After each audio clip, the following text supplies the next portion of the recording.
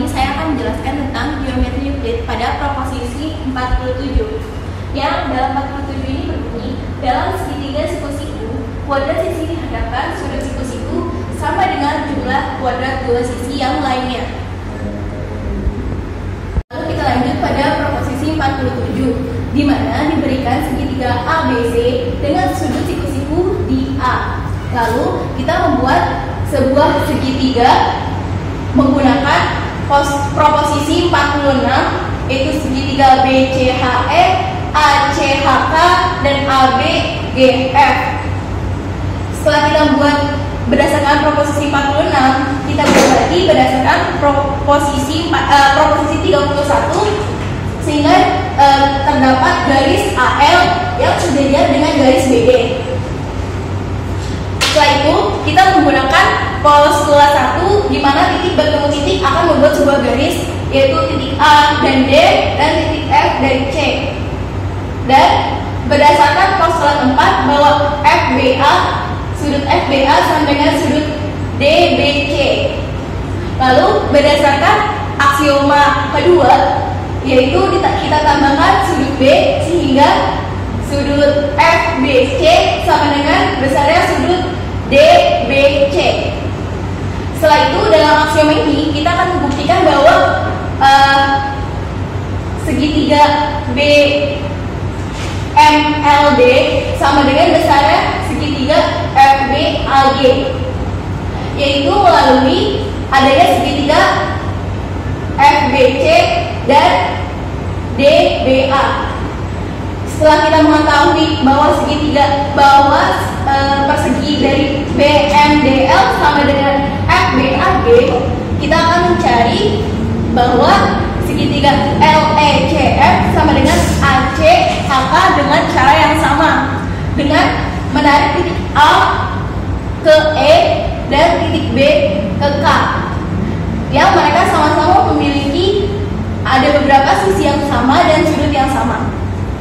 Tadi mengetahui bagaimana caranya menggambar proposisi 47, kita akan menganalisis dari proposisi 47 tersebut.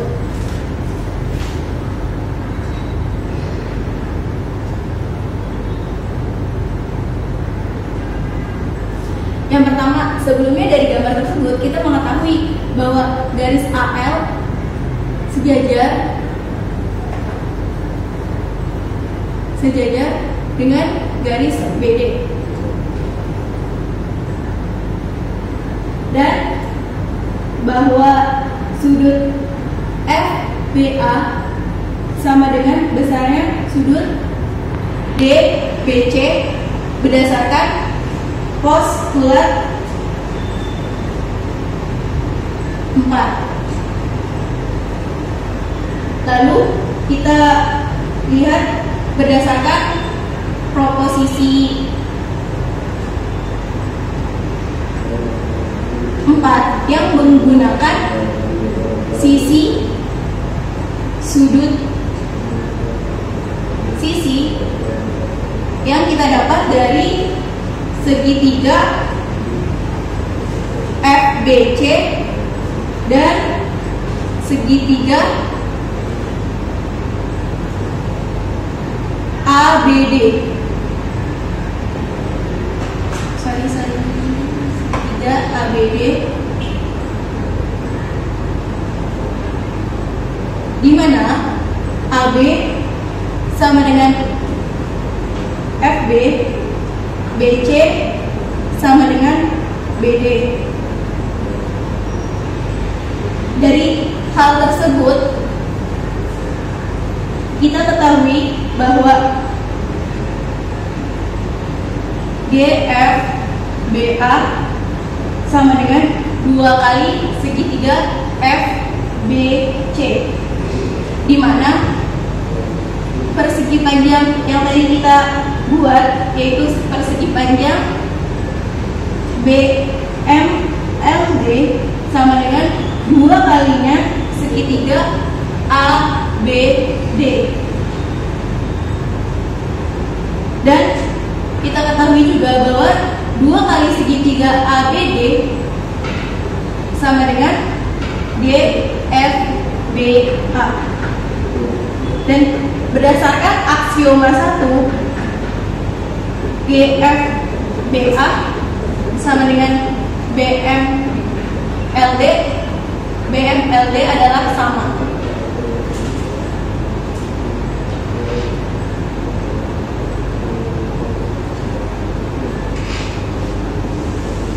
Sehingga terbukti bahwa GF GFBA dan BMLD itu adalah sama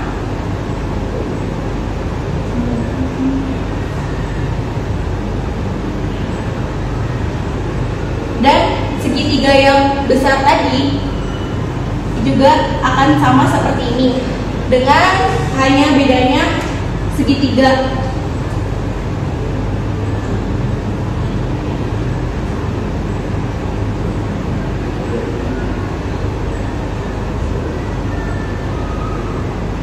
Segitiga B sama dengan segitiga C yang sudah terbagi dengan eh, persegi B akan sama dengan persegi C yang sudah terkurang dengan persegi dari A. Dan dari penjelasan dari penjelasan saya tentang proposisi 47 kurang lebihnya mohon maaf. Wassalamualaikum warahmatullahi wabarakatuh. Check it out, y'all. 무덤덤해져가는 서로의 감정 때문에 상처를 주는 것조차도 이제 무덤덤한 우리.